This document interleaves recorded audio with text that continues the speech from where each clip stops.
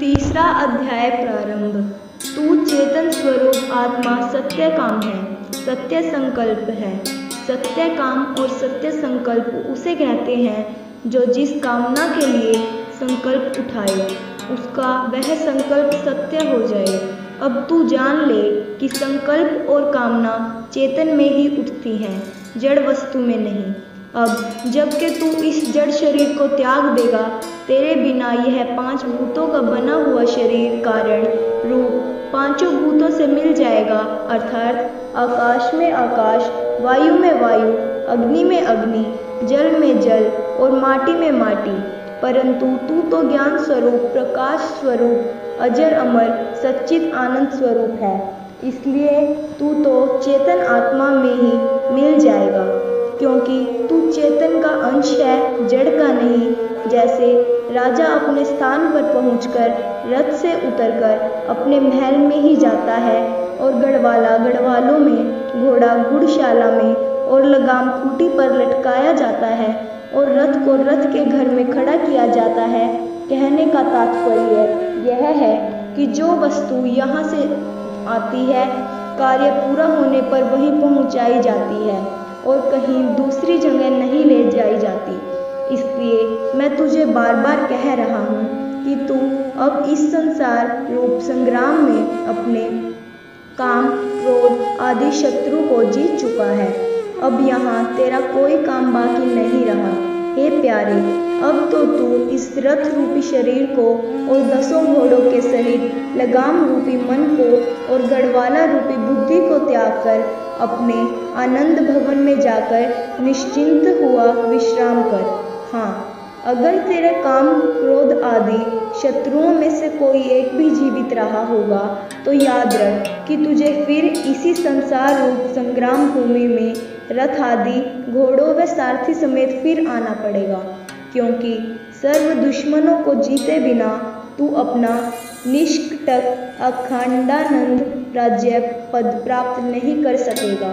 हे मेरी आत्मा, तेरी स्वतंत्रता व स्वराज्य को छीनकर तुझे ब्रह्म पद से गिराकर काया रूप नर्ग में कैद करने वाले तेरे महाप्रबल शत्रु कौन है?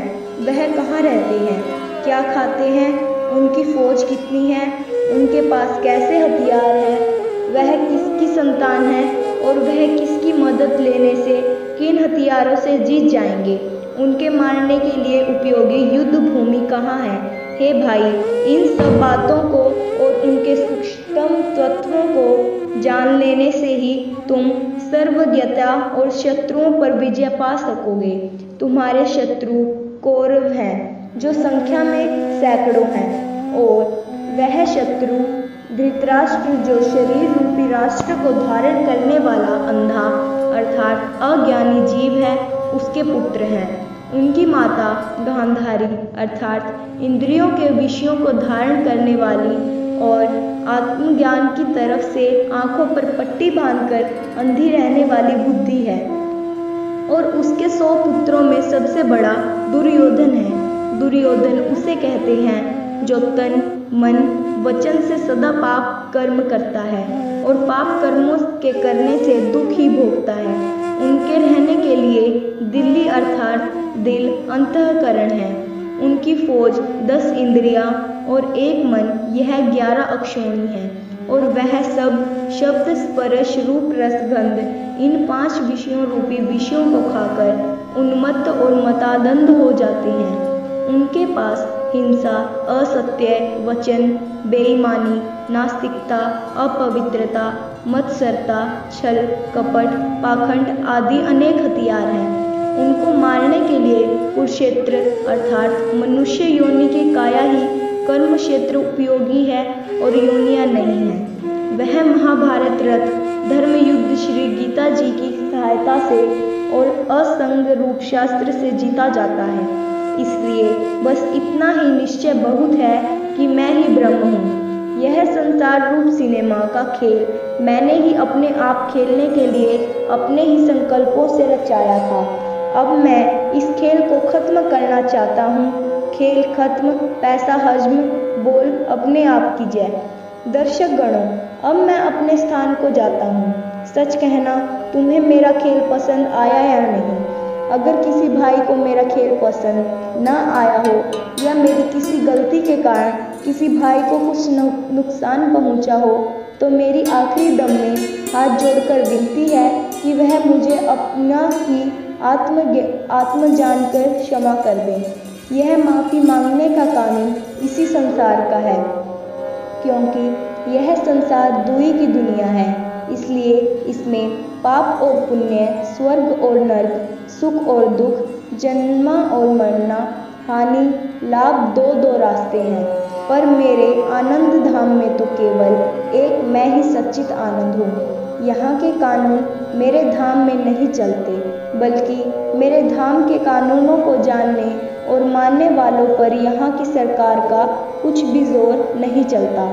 मैंने जो खेल तुमको दिखाया, उसका तुम सबने देखा होगा कि मैंने एक छोटे से झोले के अंदर से अपने जादू की माया से कितने ही कबूतर, नेवले, चूहे, सांप और भी अनेक प्रकार के जीव जंतु बनाकर निकाले। उन्होंने तुमको अनेक खेल दिखाए। फिर मैंने उसी माया के झोले से कई प्रकार के फल और बेमौसमी फूल निकाले। फिर मैंने अपनी माया से तुम्हारी तुम्हारे सबके सामने आम का बीज धरती में बोकर पाँच मिनट में ही उसके फल तुमको खिला दिए। और फिर मैंने हाथ में थोड़ी सी माटी लेकर गुचड़ू मंत्र से हज़ारों चांदी के रुपए बनाकर तुमको दिखाए। फिर मैंने एक लड़के का सिर तलवार से काटकर धड़ से अलग कर दिया। तो बतलाओ, क्या तुम्हारी सरकार ने मुझको इन अच्छे या बुरे कर्मों की कुछ सजा या जजा दी है, या मेरे खिलाफ कोई मुकदमा चला सकती है? कभी नहीं। इसी प्रकार जब एक छोटी सी माया के जानने वाले जादूगर को भी इस संसार की सरकार दंड नहीं दे सकती, फिर मैं तो अनंत शक्तियों का मालिक हूँ। माया का पति नटराज हूँ। अपनी माया से क्षण क्षण में अनेक प्रकार के अनंत ब्रह्मांड रचकर क्रीड़ा कर रहा हूँ। अब तुम ही समझ लो कि इस संसार में दृष्टा, दर्शन, दृश्य होकर भी मैं एक ही हूँ। तो फिर मुझको पाप और पुण्य एवं उनसे होने वाले, नरक और स्वर्ग देने वाले, यमराज और धर्मराज आदि कैसे बंधन हो सकते हैं? यह सब लोक और परलोक और उनके भोग, सुख या दुख सत्य नहीं। यह सब तो मेरी माया के विलास मात्र हैं। इसी कारण से मैं अपने आप को ही नमस्कार करता हूँ, क्योंकि मैं बड़ा अजीब जादूगर हूँ। यह मेरी माया नटनी अजब गजब के खेल दिखाने में इतना कमाल करती है कि और तो और खुद मुझको भी अपने फंदे में फंसाकर नाच नचा देती है।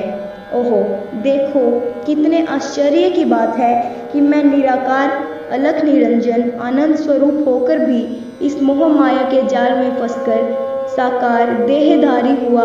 बिना ज्ञान के इस स्वपन रूप संसार में दुख सुख को भोगता रहा।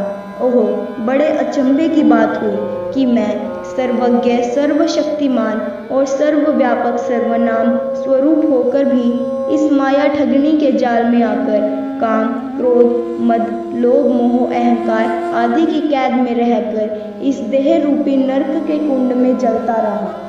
ओहो, यह मैंने कितना भयंकर स्वप्न देखा कि न कहीं गया और न कहीं से आया। केवल अपनी ही अज्ञानता से, अपने स्वरूप को भूलकर, अपने ही अंदर से संकल्प विकल्पों का जाल फैलाकर उसमें आप ही फंस गया। जैसे मकड़ी अपने ही अंदर से तार निकाल कर जाल फैलाती है, फिर आप ही उसमें फंसकर सुख दुख पाया करती है। तुलसीदास जी का कहना सत्य है, पर मैंने तो उसका अर्थ समझा ही नहीं था।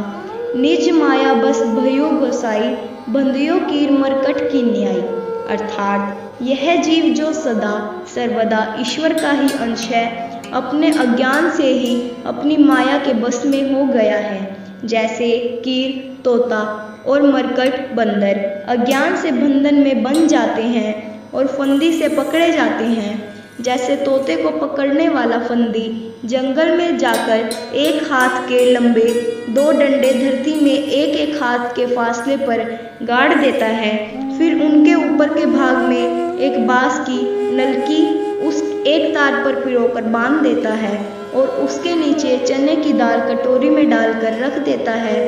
तोते का स्वभाव है कि वह नीचे नहीं बैठता, पर जब तोता दाल खाने के लिए आएगा तो उसी नलकी पर जो तार पिरोई हुई है बैठेगा। तोते के बैठते ही वह नलकी ऊपर से नीचे घूम जाएगी। नलकी जो तोते ने अपने पंजों से पकड़ी हुई है, उसके साथ ही तोता भी घूमकर उल्टा हो जाएगा। और टैं टैं करने लगेगा, क्योंकि तोते को